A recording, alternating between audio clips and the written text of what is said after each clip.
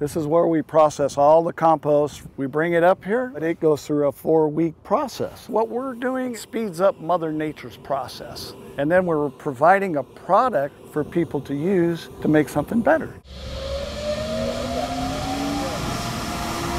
After that four weeks, we move it over and we cook it at about 130 to 150 degrees for another additional two weeks. After that, we cool it down. And if you look at it, it's actually pretty clean. You can use it in your flower beds, your gardening beds, in your house and stuff. Put it in your yard and your tomatoes will grow forever.